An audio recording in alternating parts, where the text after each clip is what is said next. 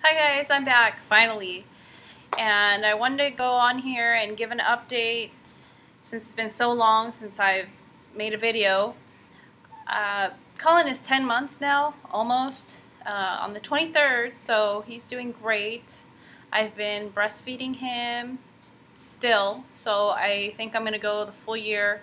My initial goal was six months, and then it was going so well that I just figured why not do the full year? Um, so he's doing great. And I've been feeding him solids. He he doesn't like cereals, hasn't liked cereals, so I don't think I I don't know what I'm doing there. Um, I offer it every time. I offer oatmeal. I put a little fruit puree in there. Uh, but he just doesn't seem to like it. I'm I still have to try to give it to him. I'm going to continue giving it to him because it's good stuff. So we'll we'll see if maybe in the next few months he ends up liking it. Um, we've we've started to try to transition to the sippy cup, and that's going okay. So hopefully uh, we can get him onto that. Um, that way I can leave him a little bit more often because he won't take a bottle. So I guess that was my bad. I probably should have introduced, or not introduced because we did, but uh, gave him more bottles so that he would um, he would take them. It's really hard to leave him with a sitter or any anybody like that because he won't accept it. Um, now the other thing we used to bathe him every night before going to bed, and we wouldn't always use soap. Um, you know, just every just so that he um, had it there for a bedtime routine. And it turned out his skin was drying out a lot. Um, so the doctor recommended that we only bathe him twice a week. So we, we're bathing him twice a week now. And reason is the skin was drying out and his eczema was getting bad, so we had to bathe him less. So now the eczema is going away, his skin is more moisturized. We switched to a different brand of lotion called California Baby. I don't know if they have it everywhere. I know they don't have it out here, but uh, I have my family members ship it to me or on Amazon you can get it from there too. Uh, I just think the steroid cream is the last resort, and I really don't want to go there. Um, if I don't have to, they have uh, they have an eczema cream that's really good, that's steroid free. So I like that. Uh, if if the eczema gets really bad, then of course there's no choice. Then I have to use steroid cream, but that's absolutely last resort. Uh, other than that, he's he's speaking. He's saying "mama," "dada," "papa," Uh, he says what? I, it, it's weird. I I guess I just repeated so much. He can he can say it's it's kind of funny, but so he'll say what? But he's not crawling. Uh, he he's standing or he's up on fours on his you know knees and hands and he's going doing that back and forth motion but he's not crawling. He seems more interested in standing, but I don't know. Maybe he's going to be one of those kids that walks before he crawls. He just doesn't seem that interested. Um, he'll roll and he'll scooch and do all of that, but no, no walking or crawling yet. Um, he's grown out of his infant car seat, so um, we upgraded to a big car seat. Um, we actually took him on his first international flight from Okinawa to Los Angeles, and it was 17 hours of travel time, and it was miserable. Don't recommend it. Um, so it was, yeah, it was pretty miserable. I mean, it was okay for my husband because he didn't really have the baby, but I had him the whole way because uh, what I did is I got the um, my my breast friend, so that's my nursing pillow that I use. So I brought that on on board with me. Um, and basically, he nursed and slept the whole way. But because I was worried that he would roll off or something, I actually didn't get any sleep. So that's why it was horrible. But other than that, he he was great. Um, just nursed and slept. So uh, it went okay.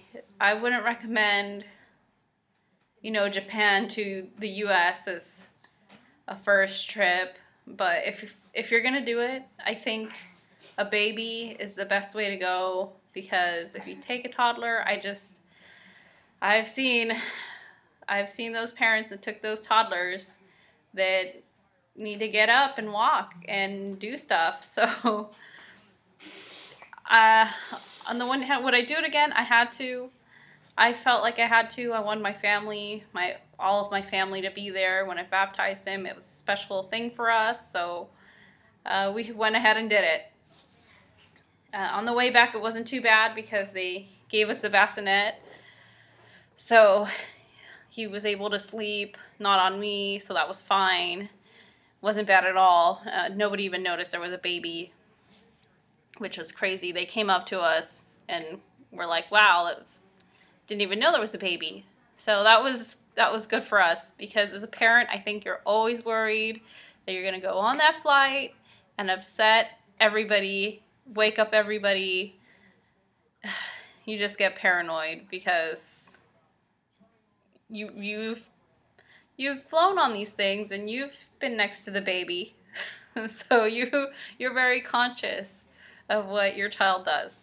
So luckily, Colin was good, and the flight on his end went great. I was just really tired. Now, uh, while we were on our trip, um, something bad did happen about 10 days in.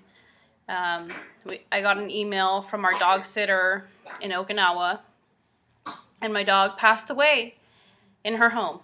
Uh, so that was that was pretty devastating and it put a damper on the rest of our trip.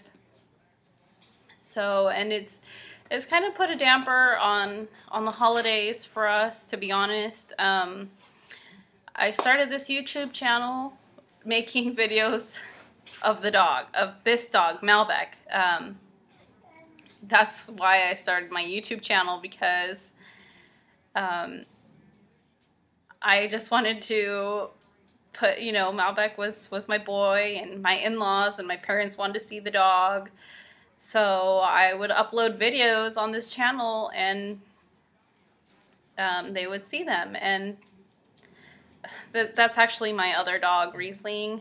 Um, she's it was a boy and a girl, so she's adjusting. She's doing okay, um, but there's a huge. I, I noticed a change in her. Um, she came back. She was a fearless dog, and now she's very skittish. Um, as far as the dog sitter, she did not take my dog to the vet, even though he was sick for three days under her care. So we had been fighting this, and I've just had to learn a lot about the Japanese legal system. Because if if you're out here, even though you're a military base and it's you know, whatever you have against is with an American, you still have to, you're still under Japanese law. So it has to go to Japanese court and all of that. So um, we do feel that she was responsible. So obviously we're going after her for damages. Um, now, she, um, I was able to shut down her dog sitting business. I don't think that it's right that people that don't care about animals take care of animals. She didn't have a driver's license, so she couldn't take my dog to the vet. The the vet had to come down and pick up my dead my dead dog the next morning. She couldn't do anything for him and she didn't tell us any of this stuff. So, you know, it's really unfortunate that this happened. You know, you think you can trust people with your animals. And I mean, if if there's anything that came out of this whole devastating ordeal for me, is that at least no other dogs will have to suffer under her care.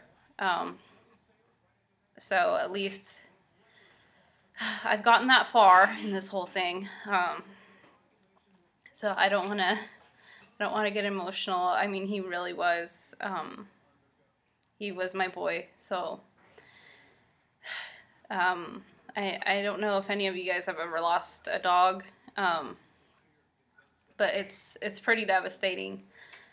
Um, anyway, on a more happier note, um, uh, I have been pretty busy just um, with the baby and, you know, the dog stuff and all of that.